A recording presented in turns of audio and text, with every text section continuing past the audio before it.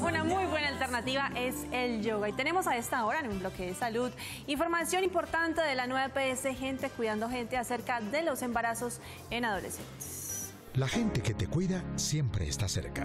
Nueva EPS y sus programas de promoción y prevención presentan la siguiente información de salud. Gente cuidando gente. Cuando un adolescente queda en embarazo implican no solo cambios precoces en el proyecto de vida de estas mujeres, también un incremento en los costos de la salud, económicos y sociales.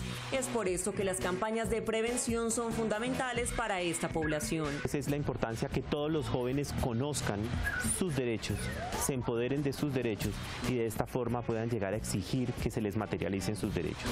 El uso de los métodos anticonceptivos como el condón, las pastillas, inyección y los dispositivos, los cuales deben ser elegidos luego de una consulta médica, evitan en un alto porcentaje los embarazos no deseados. Aunque la gran mayoría de los métodos son para uso exclusivo de mujeres, también hay métodos para uso de varones, pues, específicamente el condón.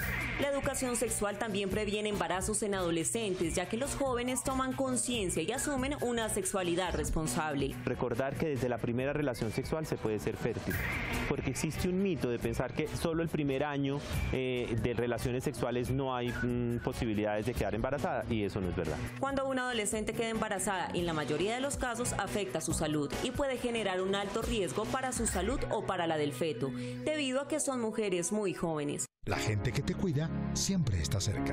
Nueva EPS y sus programas de promoción y prevención presentó la anterior información de salud. Gente cuidando gente.